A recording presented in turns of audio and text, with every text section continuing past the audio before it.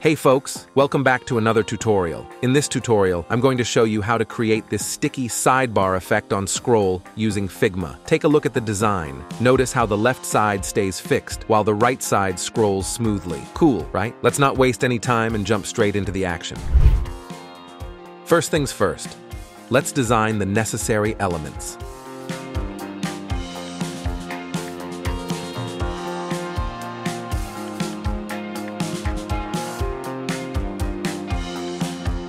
Alright, let's begin by adding some text to our header.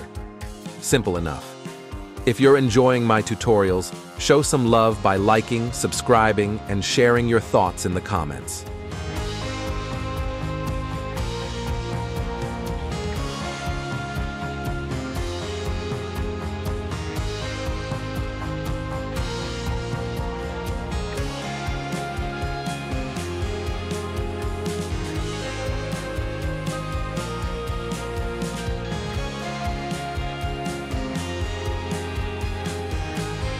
Moving on, let's craft our left and right sections.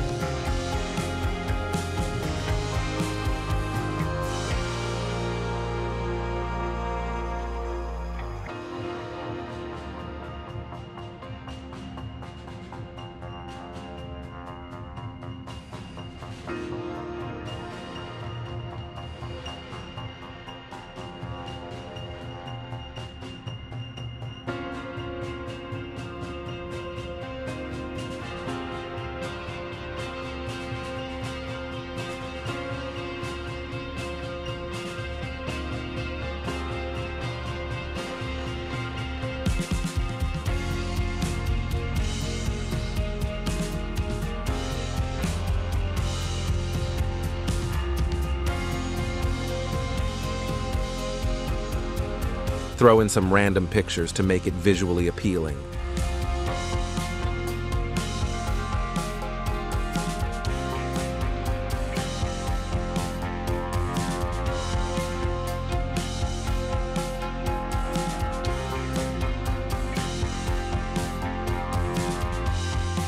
Our goal?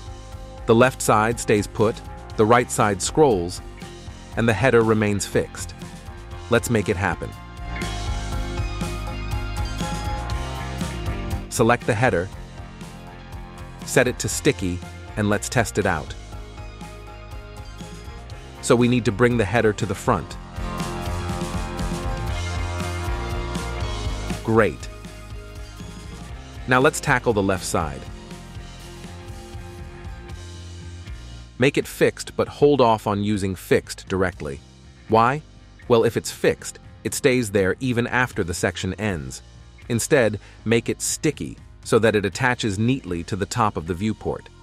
As you can see, it's getting scrolled to the top of the edge. So, let's fix it.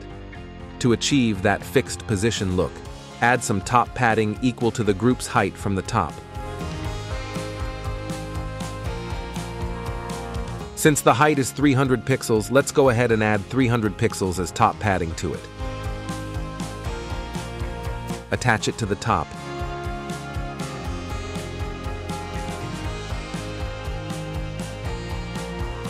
set it as sticky.